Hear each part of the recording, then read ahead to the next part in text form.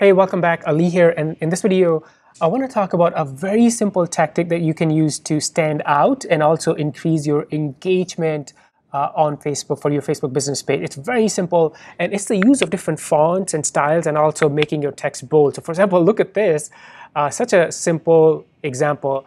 Uh, this post right here, so look at this line is actually bold, right? So this text is different and it stands out in the newsfeed and you can easily do this. You don't have to use any paid tools. I'll show you in a second. Uh, look at this. So this is the, we're running a Black Friday. It's a sale campaign and you can actually make the whole text or change the style of the whole text. Or in this example, I just changed the, the style of the, the first line. So it kind of catches attention when it's people are scrolling through their Facebook newsfeed and they're likely to read more and that creates more engagement for your Facebook post and also the business page. And I, if you have the budget, you can boost or use this type of uh, these type of styles in your ads too, which will actually increase even your engagement to another level, take it to another level. Now, how do you do this? Uh, let's actually look at the process. And we're gonna use a free tool, a free website. And actually, I think in your uh, app store on your phone. If you search for like font styles, you can probably find like tons and tons of apps. But the one I use is, is called YayText, and I've talked about this before. It's completely free. YayText, you can right like right now I'm using on desktop. You can also open this on your mobile phone and play with this. So for example, let's uh, bring that text right here. So here's the the complete text, and you see if I if you scroll down, it looks kind of funny because I had already had some emojis uh, and stuff like that. So I'm, what I'm going to do is just let's remove all of this and keep the, the first line. So Black November sale, look at that. And then if you look right here, so you see how different styles of text. And I believe I probably used this one right here.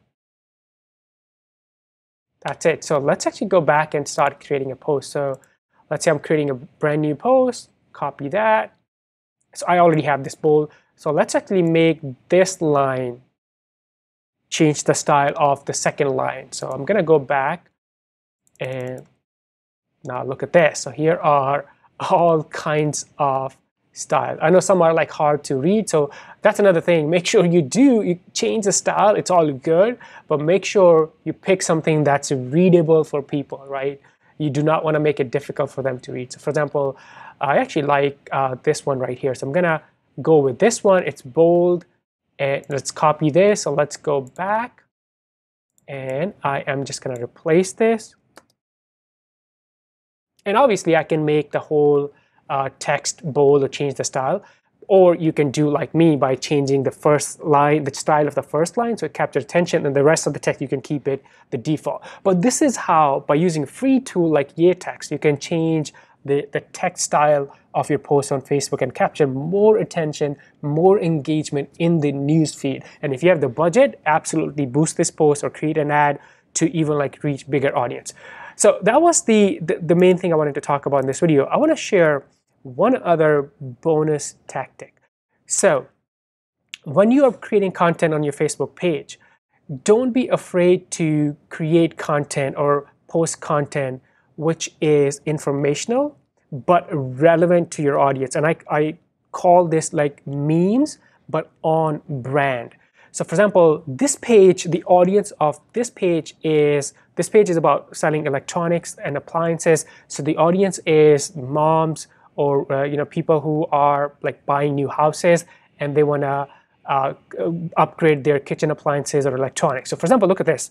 So this is a meme we used and it's a meme. So, you know, you can say we're not selling anything correct, but it's an on brand meme, meaning it speaks to our audience. So people who, uh, you know, want to improve their kitchen appliances, they also struggle with sometimes messy stuff in their kitchen, right? So it speaks and a post like this create crazy amount of engagement. Let's see if I can find, here's another one.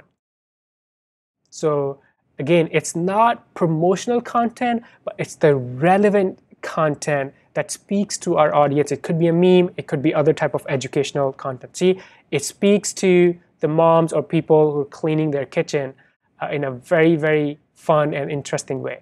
Here's another one right here cleaning with kids like that. So it's speaking to the mom, it's speaking to our audience in a fun and entertaining way, but it's not our promotional content. So whenever I create a content strategy for any page, any business on Facebook, I try to mix it up. So maybe you want to do 80-20. So 80% of the value, informational, fun content and 20% of the promotional content. And obviously, if you have different campaigns running right, right now, we're going through our uh, Black Friday deals. So we are promoting heavily but you can you know balance it like that. When we're not in a campaign mode or campaign phase we post less promotional content. So that was the bonus tip. But again going back to you can use different style of text to stand out and increase your engagement. And then bonus tip in this video was think of memes but on brand memes memes that speak directly to your audience. That content can also increase your engagement